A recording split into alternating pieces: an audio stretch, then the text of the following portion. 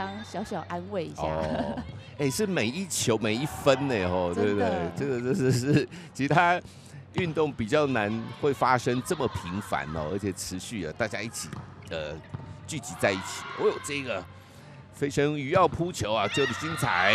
这一球哇，经裁判判落地，总共呢呃十六队，好。而且其实和美高中在就是以排球来说，算是他们学校的一个强项。嗯哼。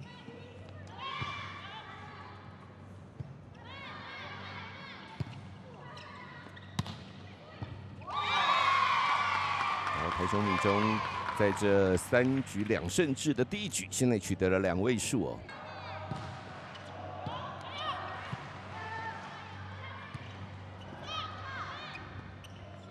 高调打一个背长啊，二号位置，嗯有，那手就突锤啊，好调到四号位置，哇，打一个直线，这一球蛮有水准的，中真的是火力全开，嗯，局末点浮现。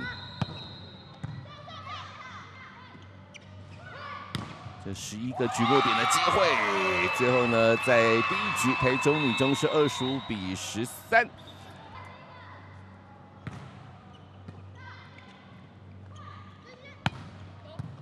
四号位置杀斜线球啊，也被挡下来。这边呢，哇，四号位杀直线得手，四比蛋。对，十一比三了，哇。哇，这个接发球直接把枪子接给对手，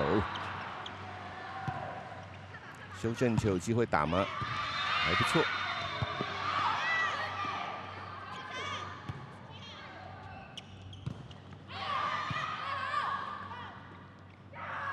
后排，哇，非常精彩漂亮。没错，而且十二号的王博基哦，也是靠着他的身高优势，来差非常的一个大。那现在轮到台中女中的发球，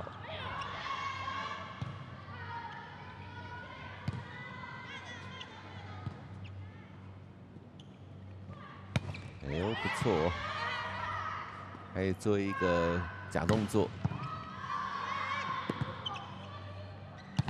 哦，一个人拦网拦过来，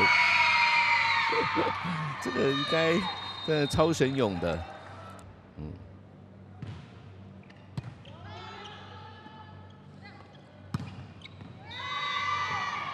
总算拿下来了哦，情况会非常的焦灼。现在双方是三比二，和美高中是一分的领先。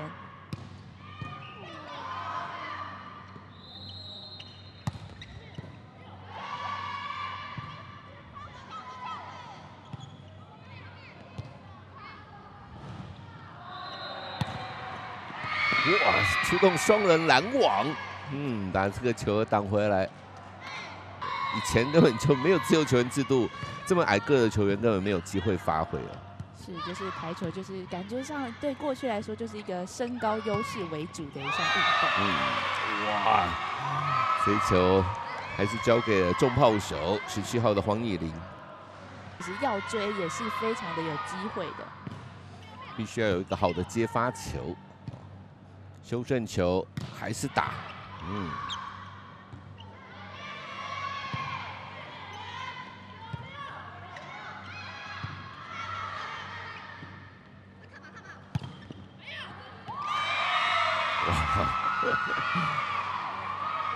而且现在又轮到了台中女中的发球哦，非常有可能就可以靠着一颗发球就直接奠定这场比赛的胜负。嗯，队长江金芳的发球，哇，结果这一球顺利拿下了赛末点，十五比九。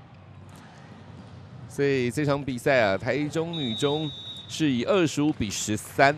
十二比二十五，以及十五比九，二比一，打败了彰化县的和美高中。